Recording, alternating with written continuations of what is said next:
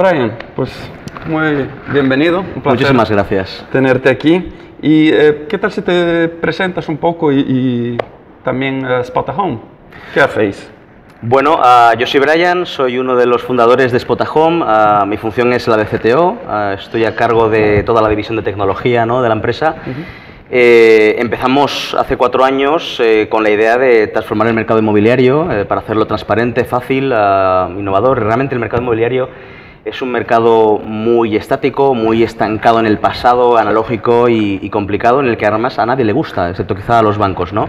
Eh, en general, inquilinos, propietarios, compradores, vendedores, nadie se fía el uno del otro y, y es, y es muy difícil. ¿no? Lo que queremos es digitalizarlo por completo, transformar todas esas eh, transacciones que ocurren en el mundo del mercado inmobiliario en offline, pasarlas al, al online. ¿no?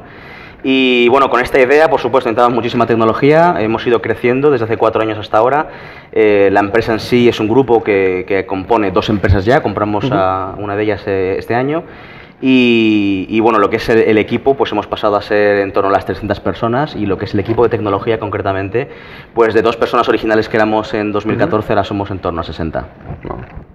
Enhorabuena, es un, todo un crecimiento. Muchas gracias. Muy bien. Y eh, en tu día a día como CTO, ¿qué es un poco así tus, tus funciones? ¿Picas código todavía o eso ya se te acabó?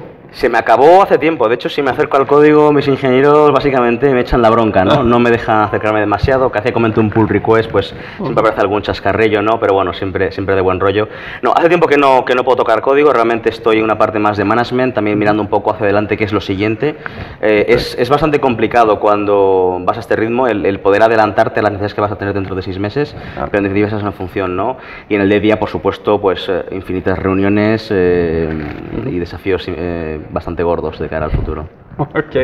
¿Y cuál es el mercado blanco de, de Spot Home? ¿Estáis centrados en, en España, eh, Europa o lo que surja? Bueno, nosotros realmente, por un lado, a nivel de segmentación, no, no, no estamos orientados a estudiantes eh, o, a o, a profesionales en concreto, estamos más bien queremos hacer una solución universal, generalista para todo el mundo, que, que valga, ¿no? que solucione el problema justamente de, del alquiler. ¿no? Eh, y de cara a la expansión geográfica, realmente estamos ahora presentes en, en, en unas 30 ciudades uh -huh. de Europa, incluyendo también fuera de Europa eh, Dubái. Dubái, interesante. Yo estuve ahí antes de que fuera, se convirtiera en lo que se convirtió, era una, una aldea, poco menos. Ha cambiado Ahora es una aldea con rascacielos, ¿no? Efectivamente, cambiaron la, los chavolos por los, los, rascacielos. Bueno, además de friki en jefe de Spot at Home, eh, también eres cofundador. Y me gustaría saber tu opinión sobre algo que oigo mucho aquí en España y que yo no estoy demasiado de acuerdo. Suelo decir mucho que eh, en España es muy difícil emprender. Eh, y a mí me suena a decir que escalar montañas en España es muy difícil, bueno, y en otros sitios también. Entonces, ¿tú cuál ha sido tu experiencia? Eh, ¿Cambiarías algo si pudieras, tuvieras un DeLorean? ¿Cómo lo ves? Digamos que España no te lo pone fácil, ¿no? Empezando por, por autónomos, que al final mm. no dejan de ser toda la masa, la mayor parte de la masa de emprendedores que tenemos en este país no lo tienen precisamente fácil, ¿no? Eh, cuando eres autónomo empiezas perdiendo, eh, lo cual es bastante complicado porque te la estás jugando toda una carta, ¿no? Y muchas veces no puedes eh, facilitar ese retorno, ¿no? Y tienes todas, todo, todo, en contra, ¿no? Por otro lado, cuando quieres montar algo más elaborado, una startup, empezar a crecer y escalar y demás, eh, España yo diría que no lo pone todo lo fácil que debería. Nosotros, por ejemplo, no, o sea, no hay un ecosistema, digamos, acostumbrado a que haya startups que estén escalando a las velocidades, digamos, que, que estamos viendo ¿no? en la prensa últimamente, eh, que son al final reflejos de lo que ocurre ya en, en Londres o, ¿sabes? Eh, a lo mejor en Estados Unidos y demás. ¿no? Eh, es verdaderamente novedoso, eh, también es orgulloso. ¿no? Hace, hace poco hemos, eh, hemos podido levantar una ronda de financiación ¿no? por parte de Silicon Valley, por el fondo Kleiner Perkins, um, y esa, al final es, es, un honor también el poder dar un ejemplo o, o, representar cómo es posible emprender y, y, atraer dinero de fuera, de extranjeros, ¿no? y, y además pues, de lo que sería la cumbre ¿no? de, la generación de startups en, en el mundo. Estupendo. Pues eh, oye, enhorabuena por la te iba a preguntar precisamente por la, ronda de financiación. Eh, es eh, un fondo norteamericano que ha invertido en una startup española o tenéis una filial en Estados Unidos o digamos tener la empresa en Estados Unidos y aquí las operaciones? Bueno, realmente la empresa es, es española, sí tenemos un, un, una empresa en Reino Unido, una limited, uh -huh. que sería como el, el holding que, que mantiene sí. todo. Eso, por ejemplo, relacionado con la pregunta anterior sobre, sobre si es fácil o no emprender España, qué haríamos eh, de una manera distinta y tal. Una cosa que vimos es que nos venía, nos hacía mucho sentido el, crear una empresa limited en Reino Unido directamente para facilitar la entrada de capital extranjero, eh, mucho más de lo que hubiera sido tener solamente una, una SL en España, ¿no? Pero, pero sí, al final, bueno. Pues eh, repito, enhorabuena para el que quien no lo sepa, conseguir que un inversor norteamericano invierta en una empresa que no es norteamericana eh, tiene particular mérito. Bueno, venga, tenéis la pasta. ¿Qué vais a hacer con ello? Bueno, son los pues, planes así inmediatos? bueno, lo que queremos es afianzar nuestras operaciones, queremos ser, pulir mejor los mercados en los que estamos presentes, ¿no? penetrar más, pero también queremos expandir, queremos crecer a más ciudades, a más zonas de Europa y queremos poner, al final lo que queremos es poner esto en Marte, ¿no? Pero, pero bueno, tenemos que ir paso a paso. Y también, por supuesto, invertir muchísimo en tecnología. Eh, como mencionaba antes, tenemos un equipo tecnológico muy grande, pero necesitamos todavía más. El mercado inmobiliario es... Eh, falta mucha digitalización, es complicado per se, tiene demasiadas operaciones y necesitamos trabajar muy duro para, para hacer un producto a la altura de las expectativas y que satisfaga las necesidades de los usuarios. Estupendo. Hablando de tecnología, volvamos un poco eh, a lo nuestro. ¿Cuál es el stack tecnológico que utilizáis vosotros?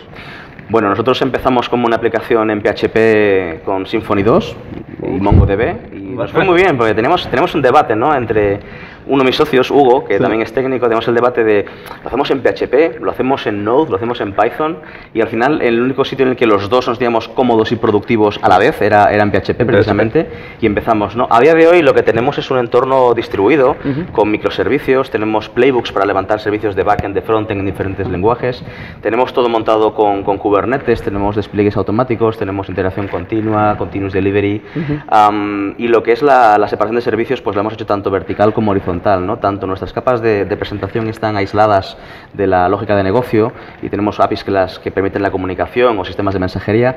También tenemos una separación vertical en la cual, eh, digamos, dividimos el producto eh, en base a los dominios que tiene la empresa, ¿no? En nuestro caso, por ejemplo, hacemos reservas online. Un dominio pueden ser justamente las reservas, ¿no? Y... Em, ¿Qué tipo de profesional eh, buscáis? Porque veo que tenéis la juguetería friki completa, por lo que me estabas diciendo. Entonces, eh, yo creo que alguien que quiera, cualquier programador, cualquiera de nuestros alumnos, nosotros formamos desarrolladores eh, mobile, web, big data, machine learning. es decir, es toda gente que podría, entiendo, trabajar en Spot Home. ¿Qué tipo de perfil buscáis y qué recomendarías a alguien que quiera trabajar en Spot Home? Bueno, nosotros estamos buscando, como dices, tenemos la juguetería friki completa, es un sitio muy divertido en el, que, en el que estar y presenta muchísimos desafíos. También yo intento que haya constantemente desafíos a, a los que enfrentarse. Pero, pero bueno, ¿qué gente buscamos? Buscamos gente realmente que tenga que sea dirigida por la misión, ¿no? que, entienda la misión, la abrace y quiera continuarla y llevarla a su máximo exponente. ¿no? Gente que sea también muy autónoma, que, sea, que le guste enfrentarse a desafíos y sacarse las castañas del fuego ella misma, ¿no? pero al mismo tiempo que sea colaborativa, que esté dispuesta a enseñar a los demás y tal. ¿no? Pero desde luego gente que tenga la obsesión por mejorar constantemente y aprender. ¿no? En cuanto a perfiles técnicos específicos, ¿no? Eh, hard skills que los llaman, buscamos ingenieros que sepan resolver problemas con código y que el lenguaje realmente no sea un problema. ¿no? Sí tenemos gente especialista en PHP, en back, gente especialista en front, en Node, especialista en QA, pero, pero sí que queremos también introducir gente con perfiles más generalistas, que lo que les guste realmente es eh, ser capaz de influir en, toda la en todo el end-to-end cycle de, cada una de las líneas de producto que tenemos. Bueno, y entre las funciones que buscamos, estamos buscando ingenieros de frontend, eh, mejor dicho, ingenieros en JavaScript, que sepan controlar el stack uh, de Node.js completo, hasta la presentación, usamos React.js para eso. En la parte de mobile estamos utilizando React Native, entonces cualquiera que, que, trabaje con React va a tenerlo cómodo para dar el salto a React Native e incluso empezar a compartir componentes entre, entre ambas plataformas. también estamos buscando gente que sea experta en PHP, por supuesto, que sepa controlar Node, que sepa desarrollar APIs, que tenga conceptos afianzados sobre cómo desarrollar eh, lógica de dominio y demás. Eh, también, bueno, en la parte de datos eh, buscamos gente que controle mucho Kafka, el ecosistema de Kafka, AK, Avro y demás. Queremos darle un buen empujón a nuestro sistema de mensajería y cómo aprovecharlo tanto para generar ah, mejor analítica, mejor reporting, como también para utilizarlo como una base de comunicación para todas las unidades del, producto. Y, bueno, básicamente son esos los perfiles. En general tenemos el abanico completo y, queremos buscar posiciones en, todos ellos. Ok, pues me alegro mucho eh, lo que has dicho porque encaja en general bastante bien con lo que estamos formando, lo cual nos indica que probablemente estamos yendo en la, en la dirección que necesita la, la industria. Así que eh, recomiendo a cualquier alumno que esté escuchando que entre en contacto con Brian. Brian, oye, pues ha sido todo un placer. Eh, muchísimas gracias por tu tiempo y de nuevo enhorabuena, es todo un, un logro lo que habéis conseguido. Muchísimas gracias, enhorabuena a ti por, por lo que estáis haciendo con Keep Coding. Gracias.